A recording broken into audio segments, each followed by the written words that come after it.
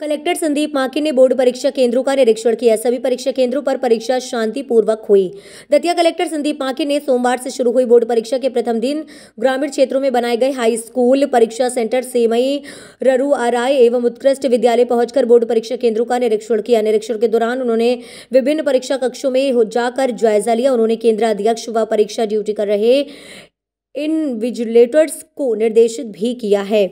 माध्यमिक शिक्षा मंडल भोपाल द्वारा सोमवार को हाई स्कूल हिंदी के विषय का पेपर संपन्न कराया गया। ज़िले के सभी परीक्षा केंद्रों में परीक्षा शांतिपूर्वक एवं नकल रहित तरीके से कराई जा रही है। परीक्षा केंद्रों पर वीडियो, कैमरे, पुलिस एवं फ्लाइंग स्क्वाड द्वारा नज़र रखी जा रही है। कलेक्टर द्वारा नियुक्त कलेक्टर प्रतिनिधियों ने अपनी अपनी ज़िम्मेदारी का ठीक से निर्वहन किया है। सभी परीक्षा केंद्रों पर पहले दिन की हाई स्कूल परीक्षा बोर्ड द्वारा संचालित नियमों के अंतर्गत संपन्न हुई। माध्यमिक शिक्षा मंडल ने पूरी प्रक्रिया नई की है। जैसे कलेक्टर प्रतिनिधि सुबह जाएगा, फिर वहाँ से बंडल उठाएगा, फिर वहाँ सेंटर पे पहुँचेगा बीस बीस के बंडल हैं, फिर दस बजे तक वो रुकेगा। इस व्यवस्था के अतिरिक्त हमने प्रत्येक विद्यालय, एक या दो विद्यालयों पर एक एक अपने मजिस्ट्रेट भी लगाए हैं। खुद मैं, SP, additional SP ADM IDM अभी आए थे यहाँ उत्कृष्ट में।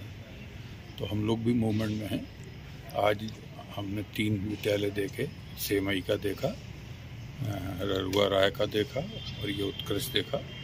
ठीक है, व्यवस्था थोड़ा उन्नीस बीस जो इम्प्रूवमेंट हैं और करेंगे, अभी पहला दिन है, लेकिन कुल मिला के शांतिपूर्ण है, कोई इस तरह की स्थिति नहीं है कि जिसपे बहुत चिंता की जाए।